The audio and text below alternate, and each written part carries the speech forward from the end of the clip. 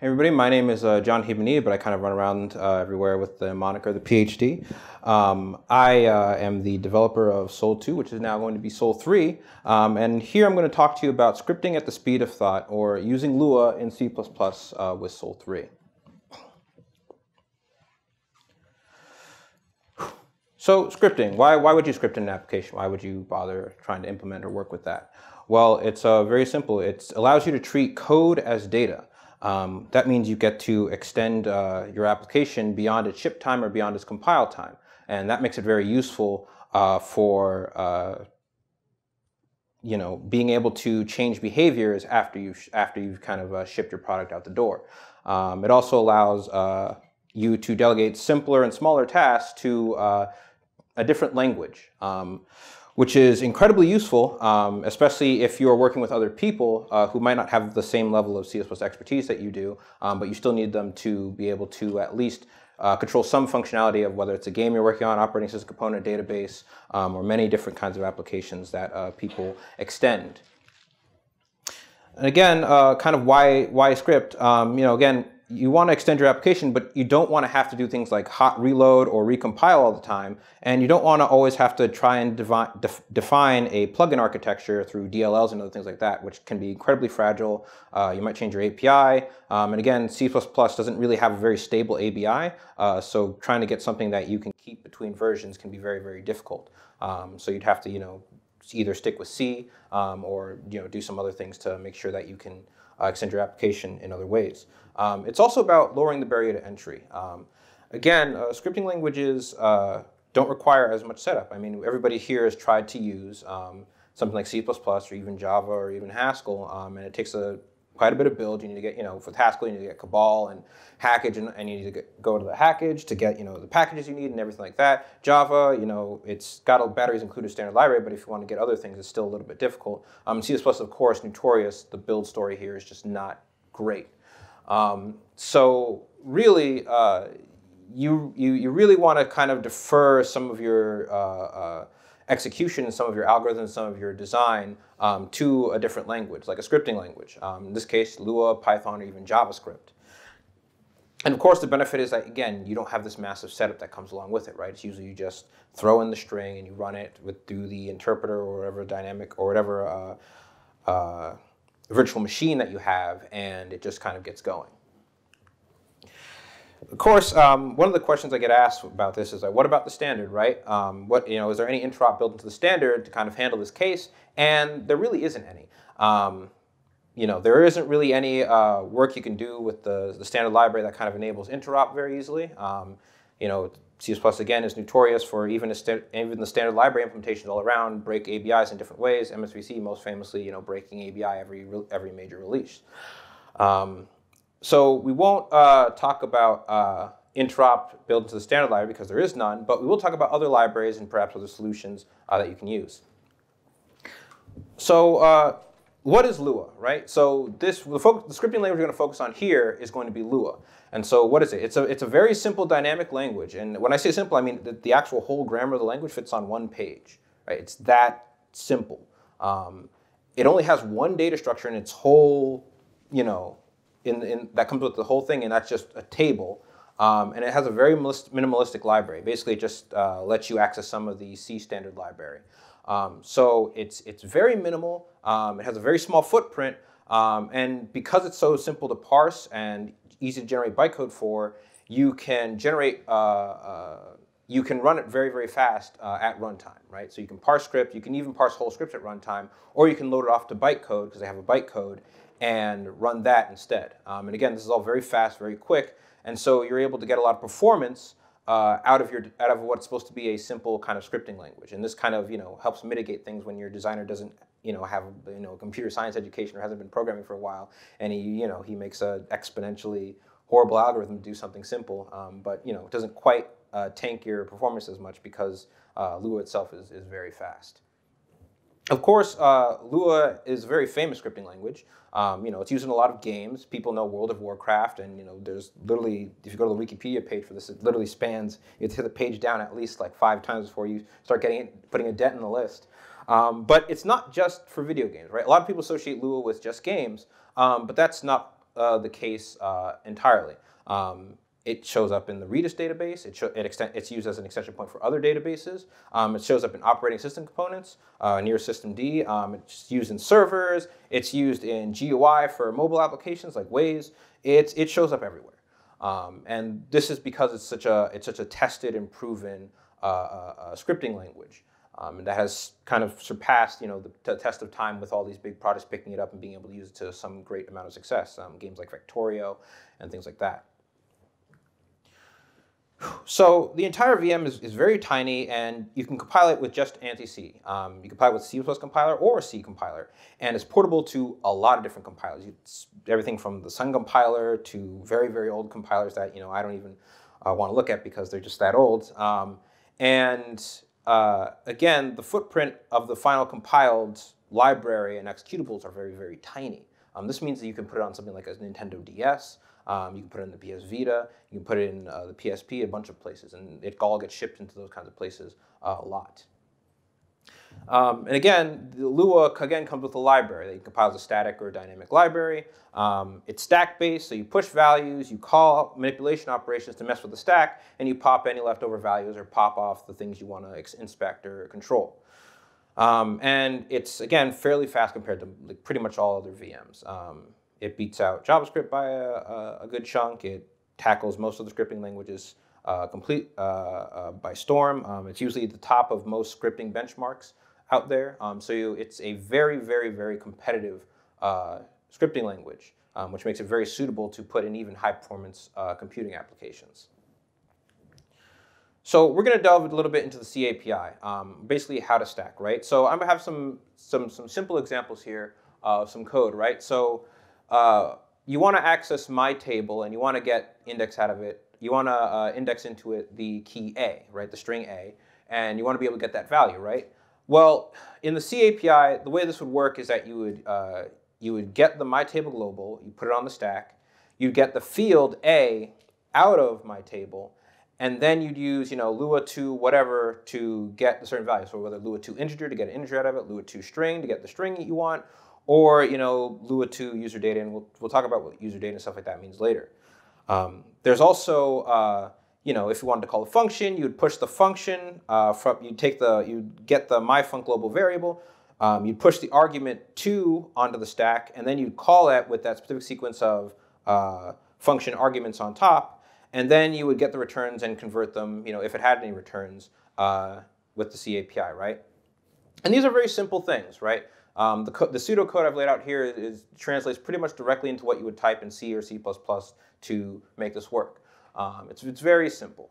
Um, so let's, uh, let's scale it up, right? How would you do this in the Lua C API, right?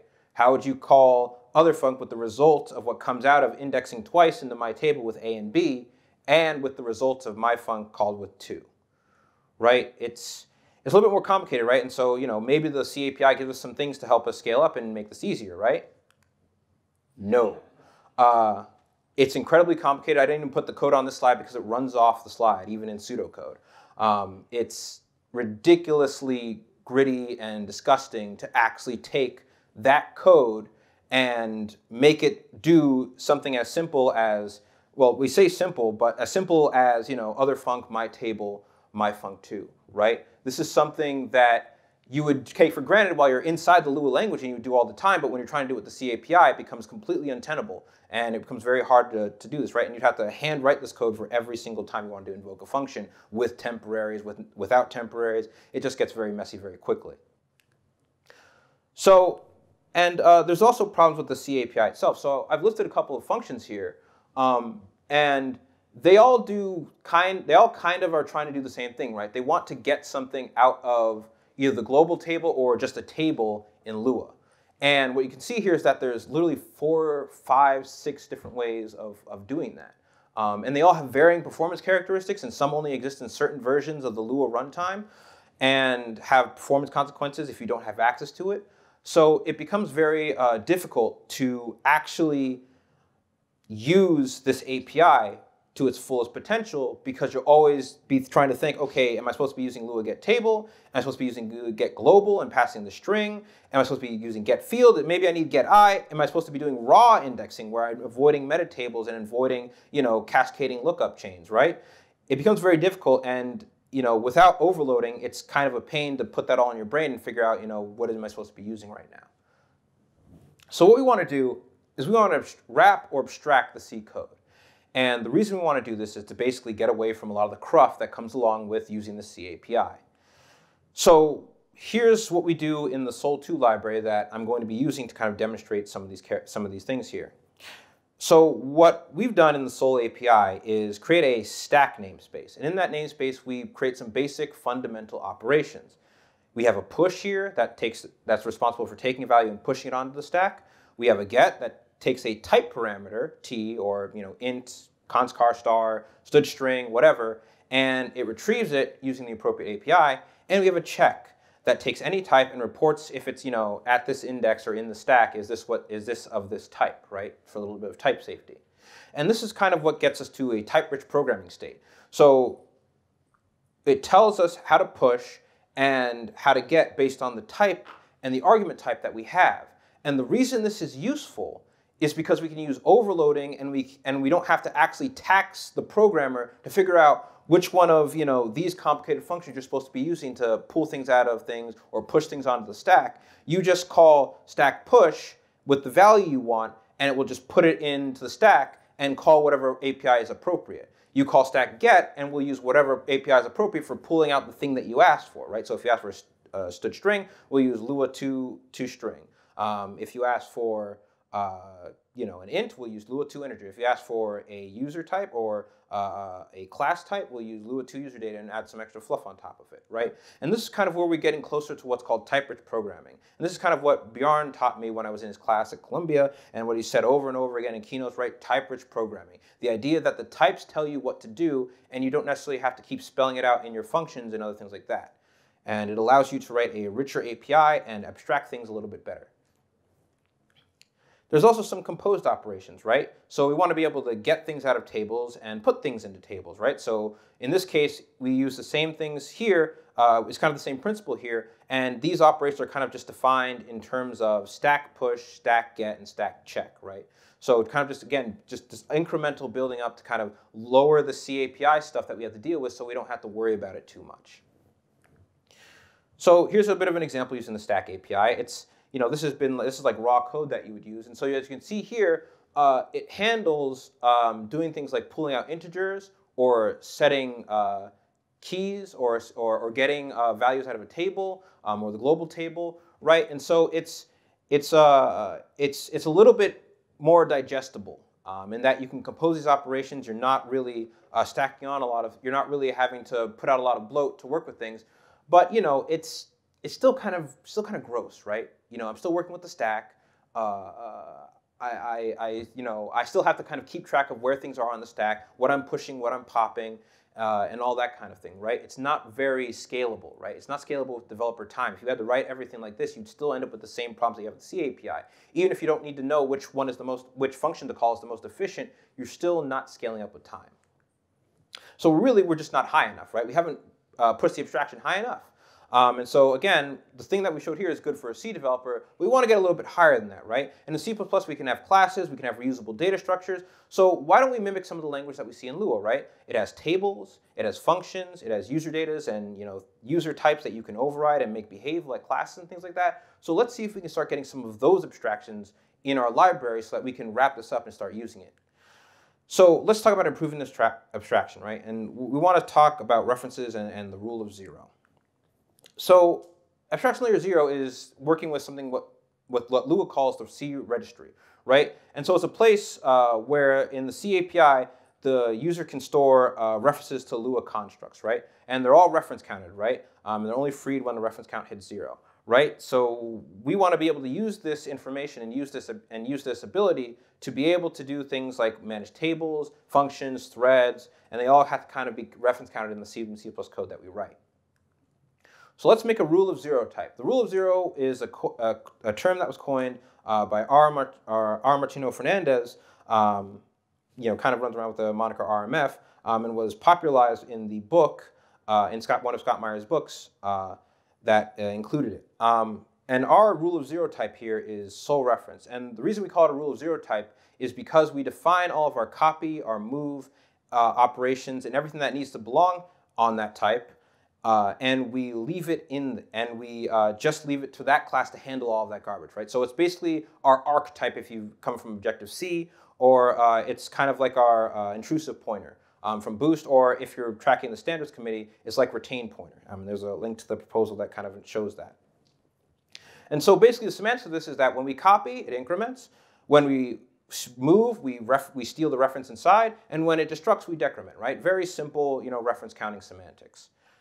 And, but when we put this thing in, this allows a, an incredible amount of reuse, right? So now that I have this reference uh, abstraction, I don't really need to think about managing that for every single high level class I want to make, right? So I can have an object, I can have a function, I can have a table, and all I have to do is for each of these is subclass from sol reference or compose if you, you know, want to do if you want to do composability. And it allows me to get very, very far very, very quickly, right? I can start quickly defining abstractions that allow me to get away from this low level cruft of working with the stack and working with references and working with the registry and dealing with all of that kind of cruft. Um, so as you can see here, we define objects, uh, we define uh, functions, and you know, in this case, we just we're just adding functions on top of what already exists on sol reference, right? So we have as and is for checking with stack check, and as for converting with stack get. Um, we have dot .call for function and and the call operator so that we can call things that we need to. Um, and we also have for tables set and get, and we also have the operator brackets, right? So we can get that similar to that API where we can index into things exactly the way that Lua does. Now we need to layer on top of that, right? So we have a function or we have a, a, a, table and we want to be able to set and get into and out of these things, right? And so I said that we wanted to have operator, uh, we wanted to have the call operator and we also wanted to have, you know, the square, the square brackets operator, right? Um, for indexing purposes. The problem with that is that uh, it's, you can't have return type, uh, you can't have return type uh, deduction from uh, this kind of type, right? So if I wanted to have a single sol function type that isn't templated, that isn't templated like std function, then that means that I need to work, I need to have something that, I need to have something that uh, f returns, or that f returns in this case, that allows me to convert to the type that I want on the outside, right? And this is what allows me to start writing some very nice code. And the way you do that is by having a uh, proxy type. And what these proxy types do is they basically have templated implicit conversion operators sitting on them. And what that essentially allows me is allows me to get this magical kind of I can uh, you you know you can call me and I can return this proxy and I can just convert to anything and it feels like I can just have a single type that just that when I call it is allowed to return whatever I want it to. So I can have it return int or I can have it return my class, right? And it just feels like that because I have this implicit conversion operator that I'm returning, this proxy type that I'm returning from these operations that allow me to do these conversions. And the same uh, uh, uh, uh, thought process applies to the tables we have here, right? So in this case, we have uh, some my table, and we say foo, and we say equals bar, right? So I want to set a string into this table at the key foo, right? So in this case, we just overload the operator equals assignment, right? And that way we get tables that we can start setting things into. We also uh, overload, and in that case, you know, when we also we also have a, a uh, anytime you know you also uh, and and the same thing it's the same thing as above for the uh, case when we want to get pull out the string bar because uh, again that implicit op, that conversion operator just pulls out a std string when we want it right and that's pretty much all we need. Also the additional thing is that we can also implement operator we can also implement the square bracket operator on our proxy and what that enables us to do is we get to get nested chaining, right? So if I want to look up things too deep into my table, I can be, I'm able to do that by creating this lazy proxy that accumulates keys, and then anytime I want to convert, then I take all the keys and I use it to, to index into the table, right? Does that make sense? Getting a couple nods? Okay, that's good. Um, this will this will start making sense as I start moving uh, a little more too. Um, so, but there are problems with these kind of unicorn proxies, right? These things that convert to anything, right? The problem is, is that certain types don't really play nice with this, right? So for example, you know, let's take std tie for example, right? So there's int abc and we're using std tie abc equals this f, right? So we have this function, it returns this proxy thing, and we have this implicit conversion operator. But what the implicit conversion operator asks for is a tuple of int ref, int ref, int ref. And the problem here is that I can't return that from a function, right? I can't return a tuple of references from a function unless those, uh, those values pre-exist, right? But these are integers, right? I'm pulling them out by value out of the virtual machine. So I can't make references to them. And it's impossible for me to make references to them. So this fails, right? Or if I, you know, do some funky casting, I can coerce it to work, but what happens is, is that I put the values into, the, into this tuple, into this reference tuple that I return, and then after I return it, the things drop themselves on the floor, and I get a bunch of like dangling pointers to basically stack space, and you know explodes my program, right? And the problem is, is that I can't explicitly control the return type of implicit or explicit conversions. So you know you can see that here with the the, the in the struct proxy operator t here, right? There's no return type. It's just operator t and then it has the call, and then has the, the, the, parentheses, and then you, you, know, you fill in the function with the things you need, right? I can't actually control the return type. The compiler looks at t and fills in the t for me in the case of template, or it uses it to select the right one if you have, if you have a, a concrete type there rather than a template, and it doesn't let me choose the, the return type. It just assumes that the return type is t, no matter what.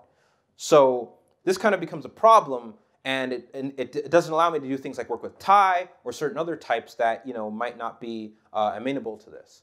Um, so I'm working actually on a fix uh, that I'm going to be putting in the San Diego mailing, where basically I'm going to allow you to opt in to having this explicit, uh, uh this this explicit return type for your you know conversion operators, um, and this will allow you to basically uh, be able to perform some conversions or some changes to the return type. So for example, in this case, handle weird tie stuff t is basically just going to take my type and if it happens to be a std tuple that has a bunch of references in it, it will instead change it to be a std tuple of int, int, int without the references. And I can actually return that. And then std tie will work, right? And so that's one of the fixes that has to be fixed through the language um, in order for me to get anywhere. All right, so now we're going to move on to, I guess, another layer of abstraction, right? So we've talked about functions, we've talked about tables, and you can set them, get them, and, and, they, and they look kind of nice. But we're going to talk about now is user types. So basically, you know, these, these, these, these, these, these, these uh, functions and these tables and these threads and whatever else are all nice abstractions, but they're still just abstracting the Lua bits, right? How do I get my C++ classes into Lua and have them behave and participate in the ecosystem and work with everything else, right? And so this is where we start getting to the meat of potatoes of how uh, Sol works. So to start off, I guess user types are kind of amazing, right? They're they're this primary binding glue that I that I that I kind of came up right. And what happens is it exposes C++ classes, their idioms, and their properties cleanly and efficiently. But you know, I could just talk about it, but why would you do that when I can show you? So let's uh, let's take a look here at uh, a quick demonstration of how this works. Uh, whoops, that was not what I wanted to do. Sorry about that. Uh, there we go. Um, we're going to uh, give me a second here. We're going to Perfect. Now I can work with this. All right. Um, so what we're going to do here is I'm going to give you a quick demonstration of how a lot of this in Sol 2 works. And uh, so there's a lot of uh, uh, ways that you can you can work with use. There's a lot of ways you can work with uh, user types here. So let's say we have a struct, and I'm going to blow this up so you can actually read it. Um, let's say we have a structure here. Everybody can read this, right? Everybody can can see this? Yes, yes, yes. Cool, awesome. Um, let's say we, you know, it has a var on it, you know, 25, and it's got a function.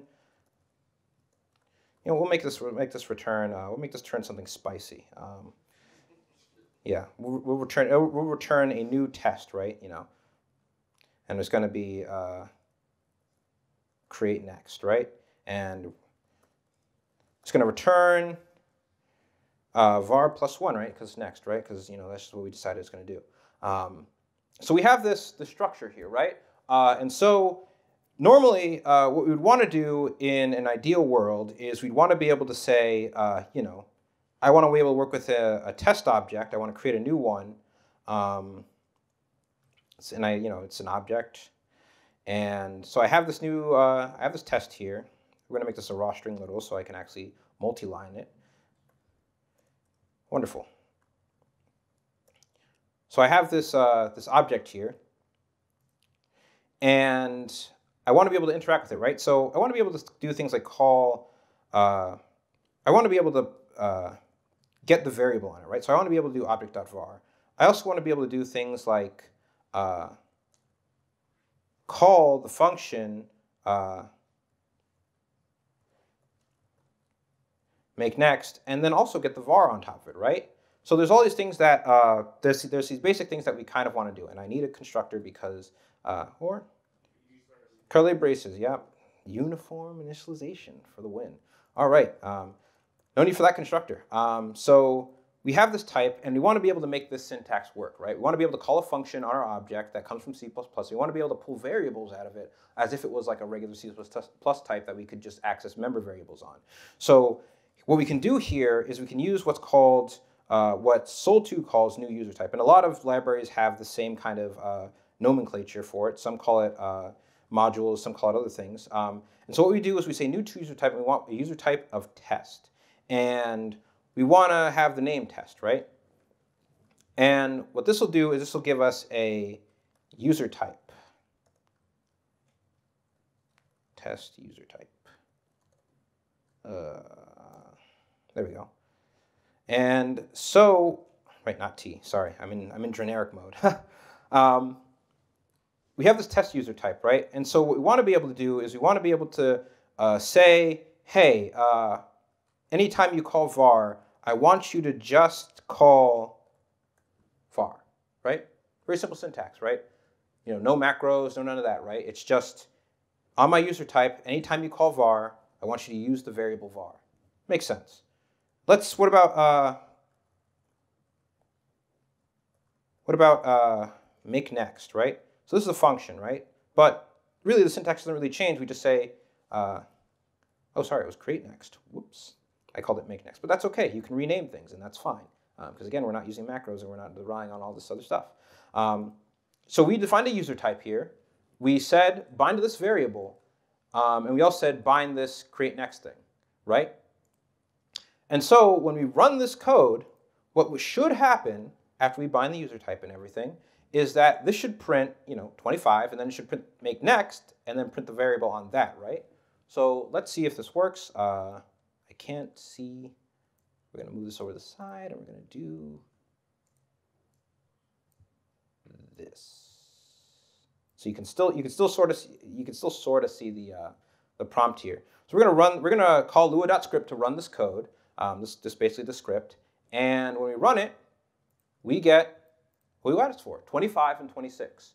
So binding variables and using them with Sol2 is actually just as easy as setting things and you know using them exactly like that. Um, and there's also some things that uh, you kind of get for free here. Um, so for example, let's say we had a, uh, we defined an operator, uh, an equals operator here, right? Compare against another, uh, another test because, you know, why not? Now, normally, uh, what most people would think is that you would have to bind this, right? Um, var equals right.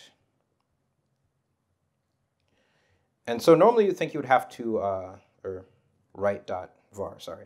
Um, normally you think you'd have to bind this.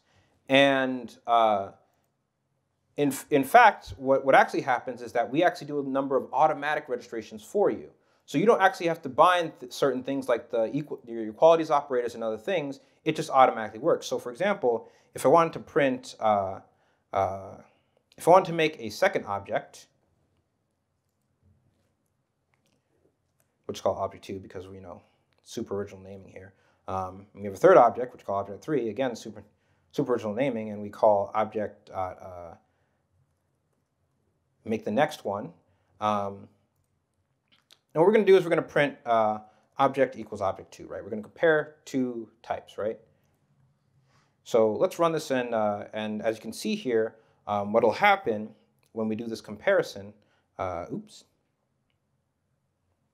and this is why it's a demo. No matching overloaded function. Oh, okay, yeah, we're running into overloaded problems. Whoops, this is bad. um, unfortunately, I can't debug this live, but well, now we know that this is an actual real demo. um, mm, but as you can see, but one of the things that happens is that we automatically bind these uh, uh, uh, things here um, and allows us to uh, work with uh, things uh, work with things much easier than we normally would.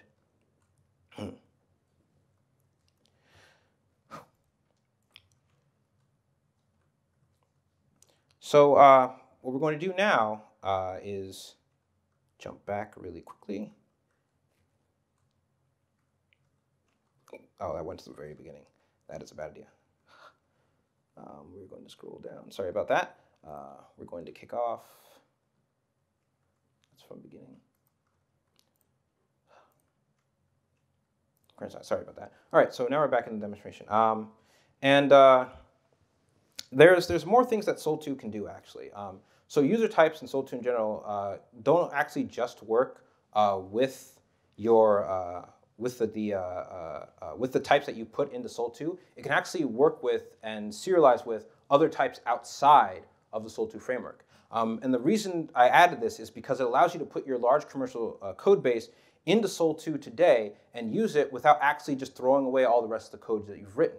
Um, this actually was a, a, pretty big user feature that people asked for. Um, and as you can see here, this is one of the people um, in, in, our Discord. Uh, and he was kind of giving a shout out to the state view type um, that allows people to use both uh, uh, Luabind and Sol2 in the same code base without having to absolutely, you know, put a huge effort into refactoring all of Luabind away just to switch to Sol2.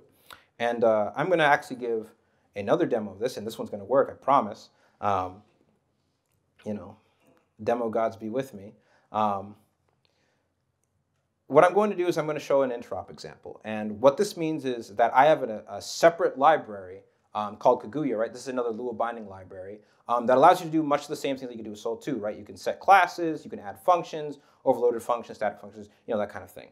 Um, and so what I'm going to do here is I'm going to uh, you know, I'm going to use Kaguya as if, you know, this was like the code base that I was you know, brought up in, born in, and this is, you know, what the company's been using for a while. But say I like some of the Sol 2 stuff. So I want to transition over. Now, normally if you put two frameworks together, they clobber each other, beat each other up, and you never get anywhere. Um, but with Sol 2, that's not the case. So for example, here I've registered a bunch of stuff on, uh, I've registered a bunch of stuff using Kaguya. But I have, you know, this, uh, I have a state view from Sol and I want to be able to work with this user type and be able to pull it out and work with it uh, like anything else I have. Um, and what the other thing I want to do is I also want to be able to use this over this feature from Sol called overload, where I'm able to kind of have two different, uh, be able to pass functions into Sol2, and based on the arguments you get, be able to switch on the type on which function actually calls. Um, this is one of this is one of the more nifty features of Sol2. Um, so we're going to run this and uh, pray that uh, it doesn't break.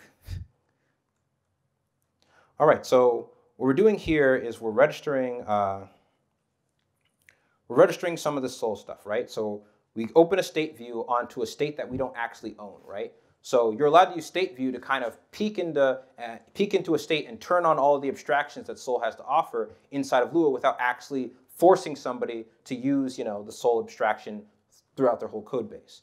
Um, and so we do this and this is where, this is again using that simple table syntax I was talking about. We're going to set an overload that either takes an ABC that comes from this, from, that was registered and is managed by and used by Kaguya, um, and also a, a, second case where we take a second arg and also an ABC from Kaguya. And the, the thing, after we register this type, we basically call the Kaguya state, the one that actually owns and manages and controls the state, and we're going to tell it, uh, hey, listen, run this code and call these Sol2 functions, right?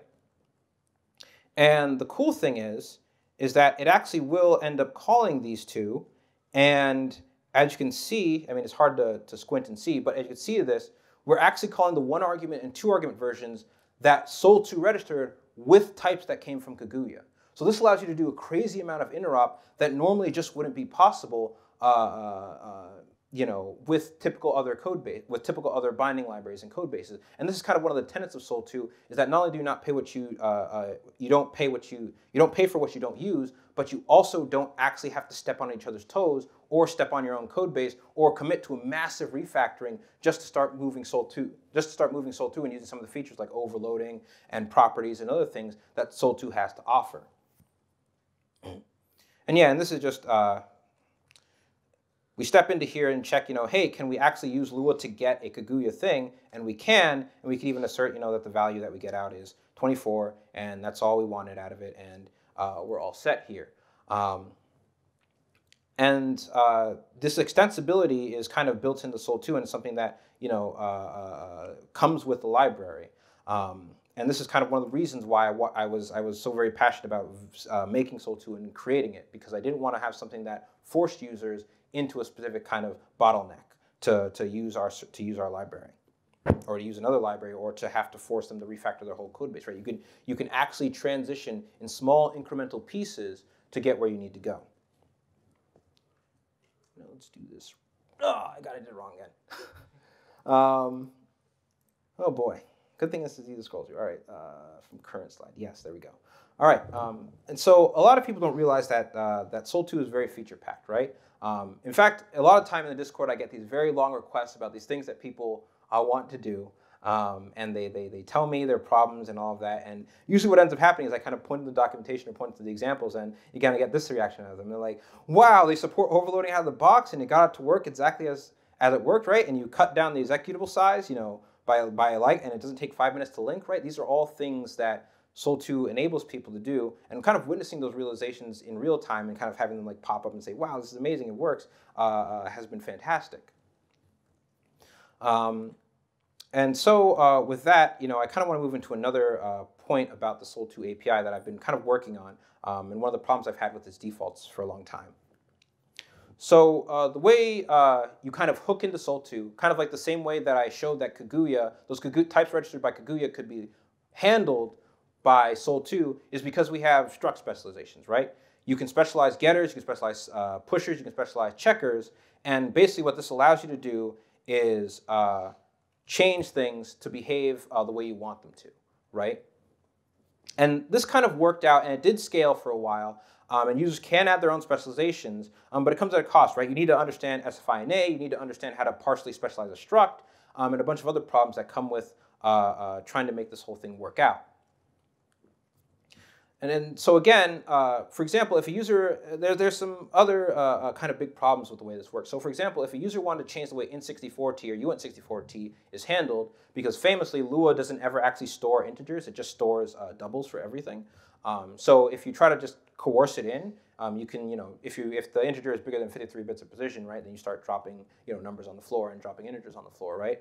Um, and so the problem with this kind of struct specialization is I mean, uh, kind of if you look at this this code that I've that I've shown here, right? I'm I'm specializing this templated struct, and I'm using std enable if, and I have to, you know, like put all these mutually exclusive conditions, right, to make sure that you know I'm specializing for the very right things that I'm asking for. Um, and and this is this is uh, uh problematic for users, right? Users uh, don't want to be specializing these structs like this. They don't want to be working with these things uh, this is a lot of like mental overhead to like, listen, I just want to like tweak this thing for my type, right? It's also, again, because I provided a struct specialization for things like int64t or some type that you want, it doesn't allow the user to change the defaults. And that's kind of bad, right? For a user who wants to, say, introduce handle string differently or introduce their own handling for int64t, which was an issue request that I had. So one of the ways that I decided to change this is that customization points are instead functions, and they attempt to call via ADL and priority tags. So you can see right, right here, the new way we do uh, customization points is we have this function called sol unqualified get, or there'd be sol unqualified check or whatever else, and it takes this priority tag type. And the priority tag is uh, what the user uh, would supply, and then they can put this types thing in.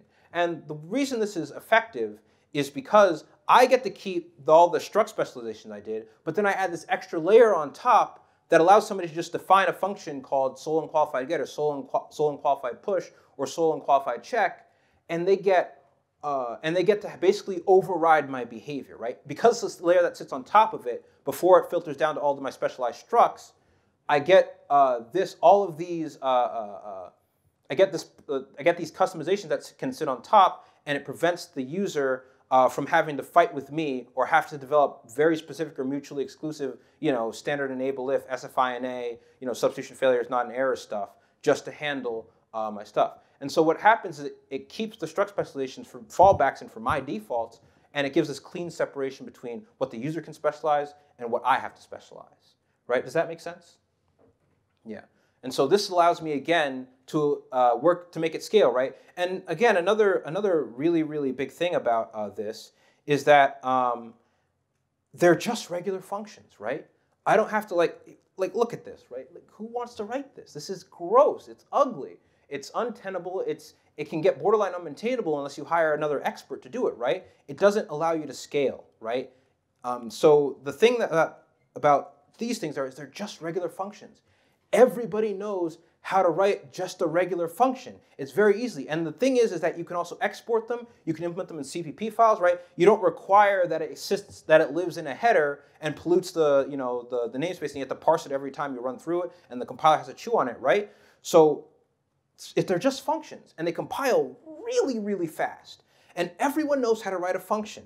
And so it makes it very, very, very simple for somebody to customize Sol 2 without having to sit down and be like, okay, uh, I need to stand enable if, and I can't, you know, I need to make sure I'm not colliding with containers because if my type has begin and end and it has map type type def on it and a value type type def on it, so it might be considered as a map type and Sol 2 might already handle that, and oh my God, right? And it just gets crazy. Separation, clean functions, anyone can implement them, anyone can use them and it very vastly decreases the barrier to entry, right? I've had people write customization types before, and what usually happens is they just take what I have in the tutorial, paste it in their code, add very little changes, and then if anything goes wrong, they, they're back in the issue, right? It didn't compile, I don't know what's going on, right? It's, but if I give them a function, they can write that, they understand that, they know how to use that, and that scales with developer time and with you know your team, right? Your, your team doesn't have to have a team meeting about what the hell is going on here you know, why did you write this? I don't understand what's going on. Can you please, you know, make my life easier and not, you know, I don't, why am I code reviewing this right now, right? It's, it's simple, it's easy, it's understandable, right? And again, it compiles fast. It actually compiles fast, which has been a big problem for me. Because speaking of compile times, they are so high. Oh my God, they're so high. It's, it's painful, it hurts my soul.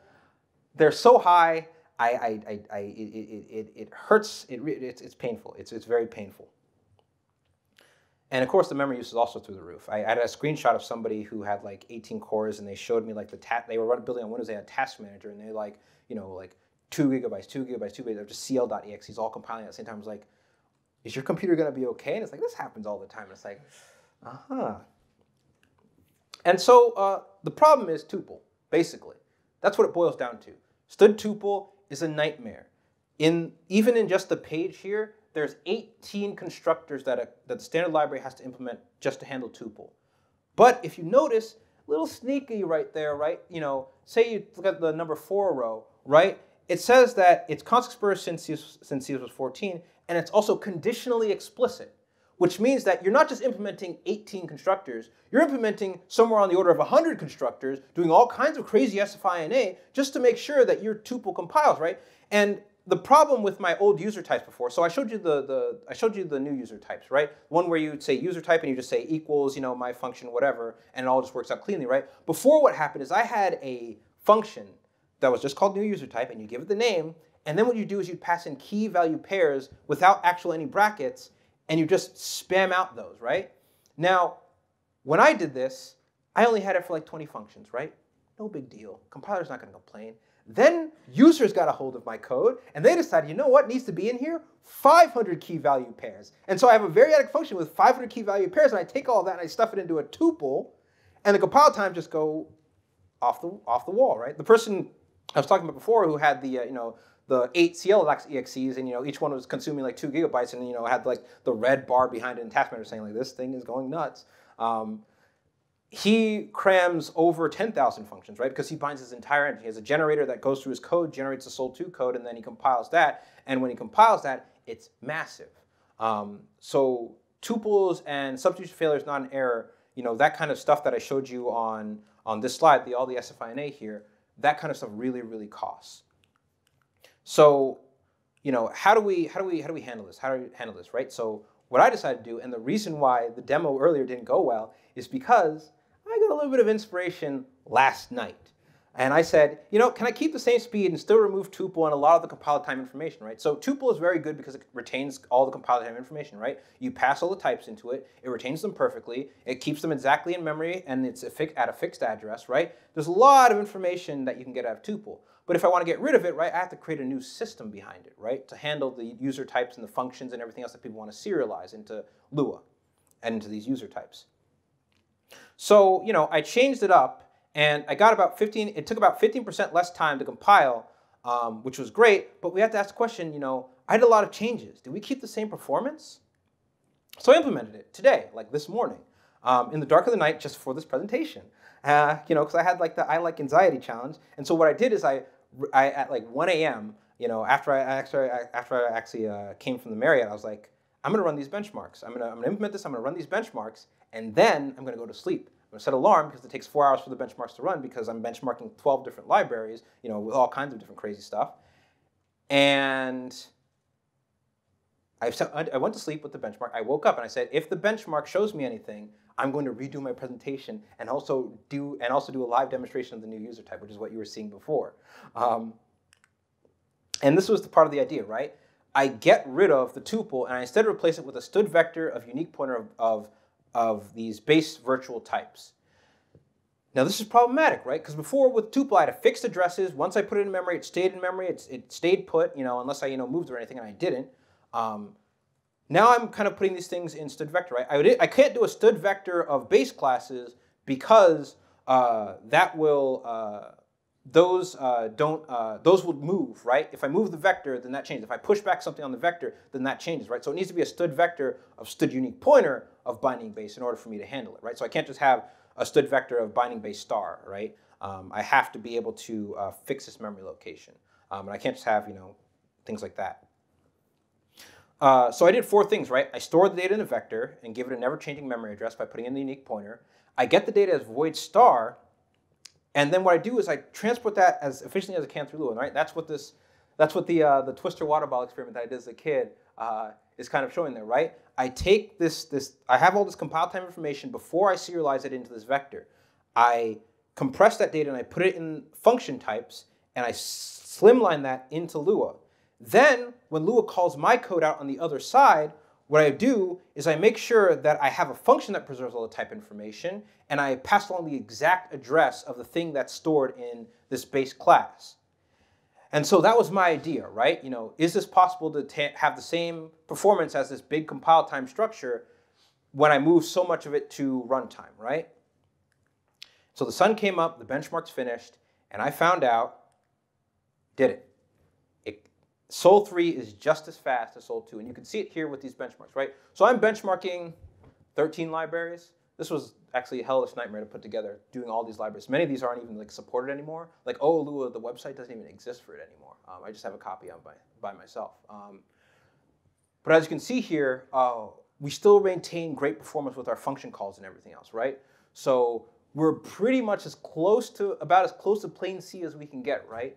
Um, plain C is sort of cheating because uh, what I do is I just have a stood, I have a stood unordered map of const car because I know that the car, I know that the strings I'm passing in because I'm, I'm writing in C, right? So I just have a bunch of uh, static strings and I just put them in the map. And so I don't have a std string and I don't have to do any, I don't really have to create a new std string in order to look up into that map. It's, it's, it's kind of cheating, but it's very nice and it works. Um, and so uh, uh, the thing I, the, the thing here um, is that we're still able to maintain the same forms, right? Sol 3 is still up there, even though I've ripped out a lot of this compile time information and moved a lot of it into what's typically considered slow, you know, right? I have a, a base class with a virtual function on it, right? How could that be as fast as a tuple where everything's templated and, you know, I just have, and, you know, I just get the, the, the fixed address out of the tuple directly and just call whatever I need right out of it, right? But we were able to make it work. Um, and this uh, propagated to a bunch of different things, right?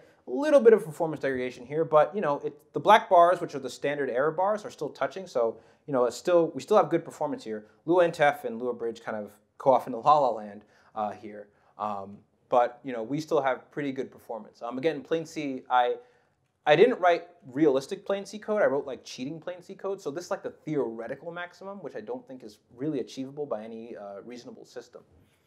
But it serves as a good benchmark, right, to know what the theoretical fast is and how close you can get to it. Um, and again, this is the degenerate case where you have like where you bind 50 variables, and so you have to do a lookup between 50 different variables and kind of working with that. And as you can see here, our lookup is still competitive.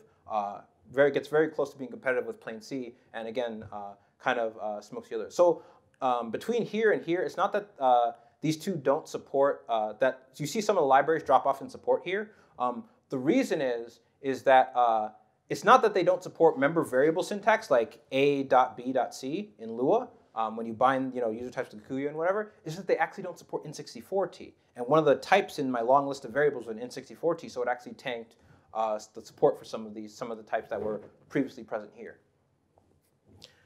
And one of the other things, though, that, that really surprised me is that my, in my new system, despite putting a lot of information at runtime, I'm killing it with inheritance, right? So before Sol 2 was just absolute garbage, right?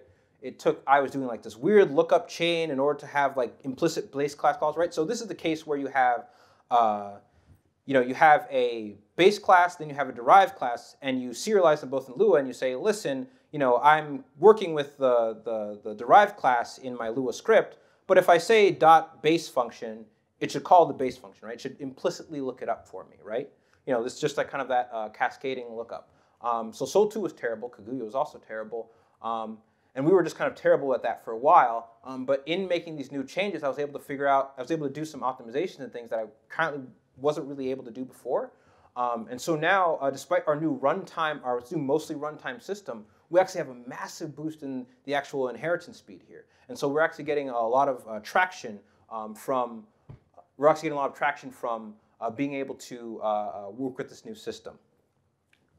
So we nailed it, right? You know, for something I did last night um, and set some benchmarks to run, uh, I think we nailed it. Um, but there's still a lot of, uh, there's great performance metrics. We have good performance metrics across the board, but you know, there's so much room to decrease compile times, right? There's still, I'm still using tuple in a lot of places that it shouldn't.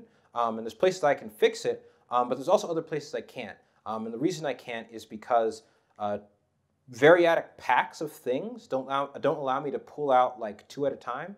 Like I could pull out two at a time if I recurse through them, and that's just that's like the worst case for the compiler, right? You know, I'm I'm creating a function of eight things and a function of six things and a function of four things, right? And I'm doing that over and over again, and I'm recursing, right? So the the call stack is messy, and uh, all of the uh, uh all of the uh, debug information from all those functions with all those like cascading and long names just get worse and worse and worse over time. And so, you know, it goes all the way down. Um, and so there's some things that I can't fix, but there's other things that I, if I, that I know that I can process one at a time, then I can use, you know, different tricks to be able to handle that um, in C++.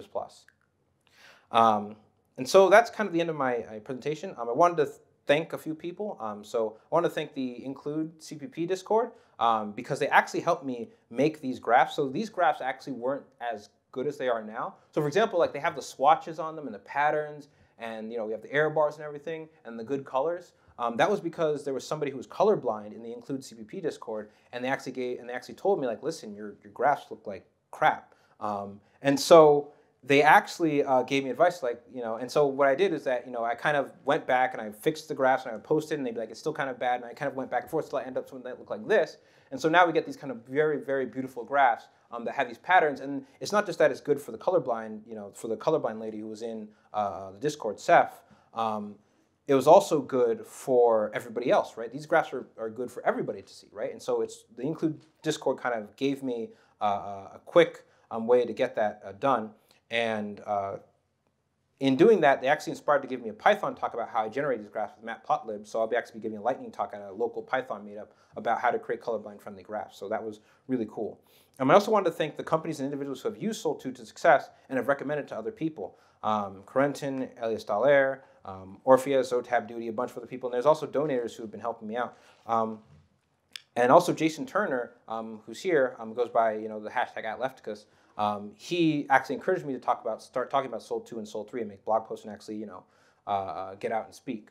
Um, and so that's it. So thank you for coming. Uh, I know you all could have, you know, went to see Sean Parent or Hyrum Wright or even Matt Godbolt um, or even Odin Holmes, you know, which I actually want to see that talk. Um, but you came here, uh, and I very much appreciate it. Um, uh, you know, I've been working on Sol 2 for about four or five years, and so I would love it, uh, you know, if you think this would be useful or you think this would be useful for your company or if you're watching on uh, on YouTube and you think this would be useful or you've been using it for a while and you wanted to show your appreciation, I have a Patreon. Um, you can, you know, hit me up on LinkedIn. You know, I have a GitHub, and of course I have a Twitter. Um, and so, you know, if you want to show a little bit of support for the new upcoming Sol 3, you can, you know, uh, tweet out with the hashtag SolLean with this talk. Um, so thank you very much for coming. And uh, we have any questions?